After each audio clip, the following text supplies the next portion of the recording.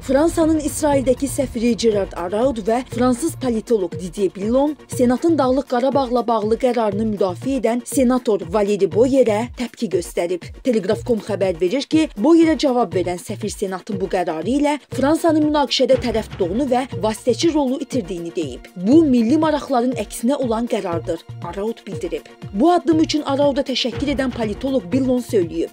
Stat: Fransa Senatının Dağlıq Qarabağ haqda səs verməsi böyük siyasi xəta, beynəlxalq hüquqdan xəbərsizlik, həqiqətlərin təhrif edilməsi və təəssüf ki, zəifliyin etirafıdır. Əlavə edək ki, Fransalı senator Boyer verdiyi açıqlamada Senatın Dağlıq Qarabağın dırnaqarası müstəqilliyini tanımaqdan, Türkiyə və Azərbaycana qarşı sanksiya tələb etməkdən qürur duyduğunu demişdi.